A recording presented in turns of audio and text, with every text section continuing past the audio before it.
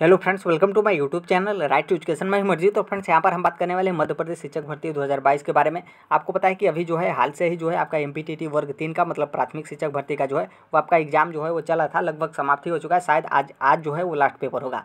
तो यहाँ पर जो इसके बारे में हम बात करेंगे, क्योंकि आपने एग्ज़ाम तो दे दिया, लेकिन टोटल कितने पद पर जो है, वो भर्ती होगी, यहाँ पर जो है, वो हम बात करने वाले हैं। बाकी यहाँ पर बताया गया कि मध्य प्रदेश में जो है टोटल सत्तर से भी अधिक जो है, वो पद रिक्त हैं। ये आपके सत्तर पद सिर्फ़ माध्यमिक और जो आपके मिडिल हैं उसमें जो है आपके रिक्त हैं। यदि प्राथमिक को जोड़ेंगे तो इससे भी अधिक जो है, वो पद रिक्त हैं। तो किस विभाग में टोटल कितने पद पर भर्ती होगा? यहाँ पर हम बात करने वाले हैं और यहाँ पर ये भी बताया गया है कि आठ हज़ार पद जो है, वो बढ़ाए गए हैं। जल्दी आपको इसका नोटिफिकेशन जो है, वो देखने को मिलेगा। तो ये क्या है? इसके बारे में हम डिटेल में जो है बात करेंगे। बाकी जो आप अभी हाल ही में वर्ग तीन का मतलब प्राथमिक शिक्षक भर्ती का आप एग्ज़ाम दिए तो इसमें टोटल कितने पद पर जो है, वो नियुक्ति होगा? इसके बारे में हम बात करेंगे। बाकी जो मध्य प्रदेश गवर्नमेंट के जो राज्य शिक्षा मंत्री हैं, स्कूल शिक्षा विभाग के, उनका क्या कहना है? यहाँ पर भी जो है, वो देखेंगे। तो आज ही का न्यूज़पेपर है, शायद आज जो है वो आपने देख भी लिया होगा। तो ये देखिए, यहाँ पर क्या है कि जो आठ हज़ार पद बढ़ाए जाएँगे, ये आपके बढ़ाए जाएँगे हाई स्कूल और मिडिल के, जो कि आप इसका एग्ज़ाम अभी नहीं दे रहे थे, क्योंकि आपका जो एग्ज़ाम हो रहा था सिर्फ़ वर्ग तीन का मतलब प्राथमिक का, और ये आपका है जो कि वर्ग तीन में आपका सिर्फ़ प्राथमिक ही आता है।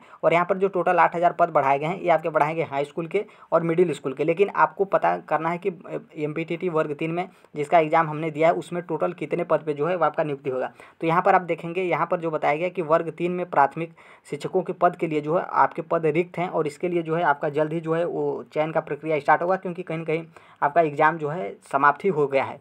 तो इसमें जो टोटल नौ हज़ार पाँच सौ पद हैं जिसके लिए आप एग्ज़ाम दे रहे थे तो प्राथमिक शिक्षक भर्ती जो होगी, वो आपकी होगी नौ हज़ार पाँच सौ पद के लिए। अब देखिए क्या है कि इसके पहले आपको पाँच हज़ार न्यूज़ जो है वो देखने को मिलेगा, लेकिन कोई उस तरीके से ऑथेंटिक नहीं था, क्योंकि बताया गया था उस टाइम पर कि एग्ज़ाम खत्म होने के बाद ही जो है वो कन्फर्म होगा। तो यहाँ पर जो है इसके बारे में बताया गया है और यहाँ पर जो है, वो आप देख भी सकते हैं कि गवर्नमेंट जो है, वो आठ हज़ार इसके जो है, वो पद बढ़ाएगी। अब इसमें पद बढ़ाएगी तो क्या फिर से एग्ज़ाम होगा? तो देखिए, ऐसा बिल्कुल नहीं, इसका फिर से एग्ज़ाम नहीं होगा क्योंकि ये जो है, आपका एमपीटीटी वर्ग तीन का आपने जो है, वो एग्ज़ाम दे रहे हैं। लेकिन इसके पहले जो है, आपका एमपीटीटी वर्ग दो और वर्ग एक का जो है, वो आपका एग्ज़ाम जो है, वो हो चुका है।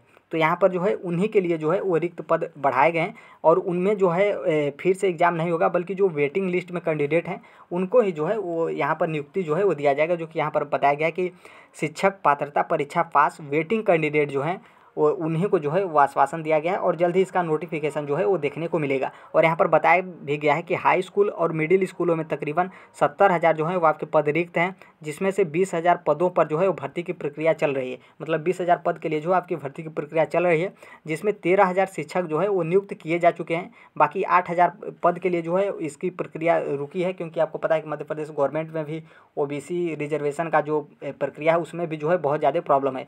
तो इसका जो है वो मेन रीज़न है, इसके अलावा भी बहुत सारे रीजन हैं। बाकी यहाँ पर ये भी बताया गया कि इसके अलावा जो है टोटल आठ हज़ार पद जो हैं, वो और खाली हैं और इस पर जो है वो तैयारी करने के लिए मतलब पूरी तैयारी गवर्नमेंट बना ली और जल्द ही इसका नोटिफिकेशन जो है वो देखने को मिलेगा। और ये जो आश्वासन दिया गया है, जो मध्य प्रदेश गवर्नमेंट के डीपीआई हैं, उनकी उप संचालक कामना आचार्य जो है, इनके द्वारा बताया गया कि शिक्षक पात्रता पास कराने वाले कैंडिडेट जो वेटिंग लिस्ट में जो हैं उनको पद वृद्धि की मांग जो है वो की गई थी उनके द्वारा और गवर्नमेंट जो है इसको एक्सेप्ट कर ली है तो जल्द ही जो है उनके मतलब जो पद वृद्धि होगा, वो आपके जो है इस पर जो है उनको नियुक्ति दे दिया जाएगा, जो भी कैंडिडेट वेटिंग लिस्ट में है। तो यहाँ पर आप देखेंगे कि बढ़े, जो आपके बढ़ेंगे पद, वर्ग एक में मतलब आपके माध्यमिक में तो माध्यमिक में आपके टोटल पद बढ़ेंगे आपके तीन हज़ार और वर्ग दो में तो वर्ग दो में आपके पद बढ़ेंगे।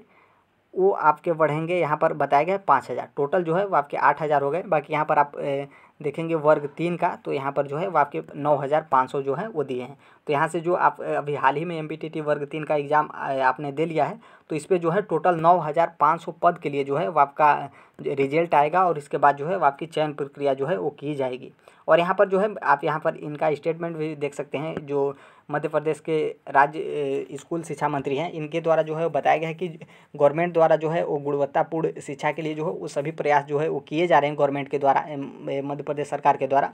बाकी जो कोई भी शिक्षकों की नियुक्ति की प्रक्रिया है, वो प्रक्रिया जो है, वो चल रही है। बाकी यदि रिक्त पद भी जो हैं तो उनको जल्दी ही जो है पूरा भरा जा रहा है। बाकी जो पद वृद्धि भी जो है, इसका भी प्रयास किया जा रहा है, ताकि स्कूलों में जो है वो शिक्षकों की कमी जो है, वो ना रहे। तो यहाँ पर जो है, इनके द्वारा बताया गया है।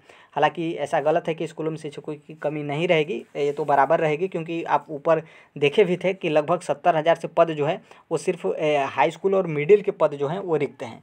और ये जो है आपके लगातार हर साल जो है वो बढ़ते जाएँगे। तो यहाँ तक जो है लगभग यही अपडेट था। बाकी सबसे मेन जो इंपॉर्टेंट इन्फॉर्मेशन यही था कि वर्ग तीन के लिए जो है आपके टोटल कितने पद पे जो है वो आपका रिज़ल्ट वगैरह जो है वो जारी किया जाएगा। तो ये आपका जारी किया जाएगा नौ हज़ार पाँच सौ पद के लिए।